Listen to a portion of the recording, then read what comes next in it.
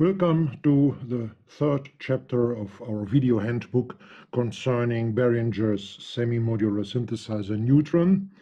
This chapter number three is dedicated to the patch bay here of the synthesizer or to express it as follows, whereas chapter one and two dealt more with the semi-modular character.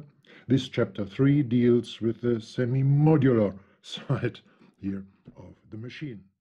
Strength, I'm sorry, um, but changing the frequency relation between these two uh, oscillators now.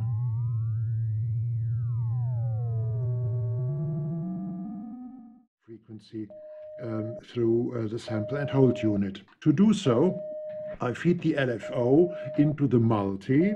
So here's the LFO. Let me remove it from the sample and hold. I feed it into the multi.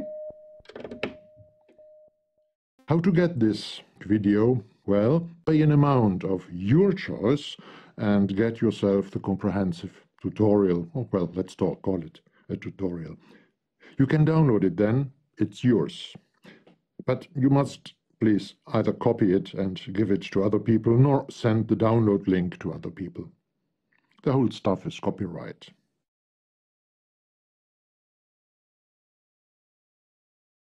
And here is how you get it. First, you donate via PayPal an amount of your choice, your choice.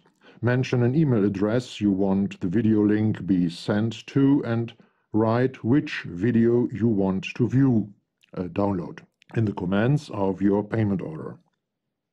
Second, PayPal sends your money, your email address and the title of your wanted video to me. Third, I'll send a link to your video to the email address you mentioned with your payment. Fourth, enjoy your video. You can download it now. If you are the owner of a lifetime license, you don't have to donate at all. Just send me an email with your name and the number of your license and, of course, the video, or even more than one, you want to watch or download. I'll send the link to you as described above. Have a great day and a good time. Rolf.